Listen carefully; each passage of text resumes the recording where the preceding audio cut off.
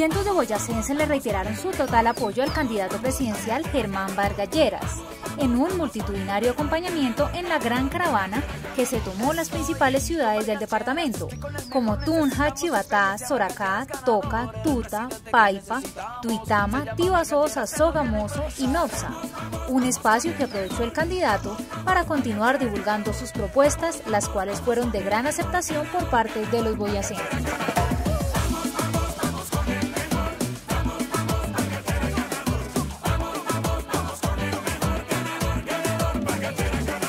Como muestra de respaldo a Germán Vargas Lleras, muchos boyacenses han reconocido su larga trayectoria y experiencia política en Colombia, pues ha recorrido todos los pasos que tradicionalmente se exigían para llegar a la presidencia.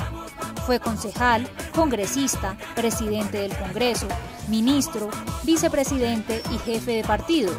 De esta manera, cientos de boyacenses le dijeron sí a mejor Vargas Lleras. Estoy con Vargas Lleras,